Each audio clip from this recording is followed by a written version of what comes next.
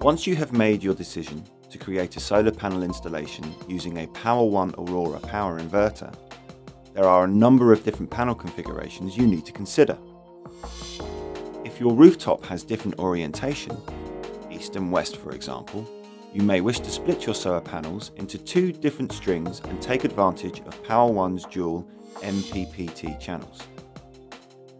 Dual MPPT, short for Maximum Power Point Tracking, is technology developed by Power-One to maximise the energy harvesting during different hours of the day or changing weather conditions.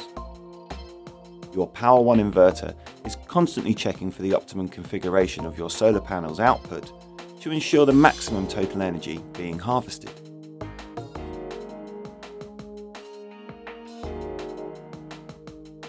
Also, if there are any areas of shading within your rooftop area, you need to consider the configuration of your panels to minimise energy losses through full or partial shading.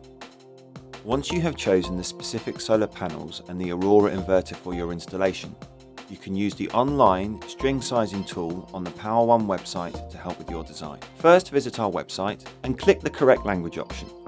Then find the online string sizing tool within the quick links section.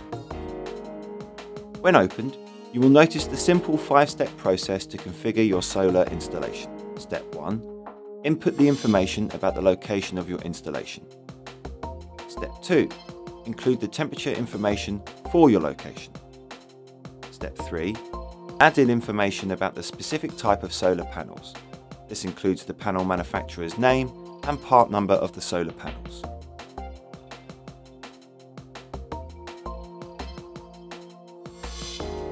Step 4. Then you need to select specific model of the Power-One Aurora solar inverter. Step 5. You should select your preferred configuration, either parallel or independent MPPT, and check for its utilization factor. The closer to 100%, the better.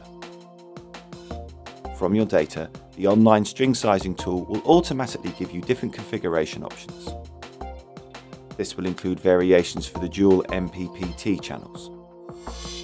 Then you can use this information to find the best configuration for your solar installation.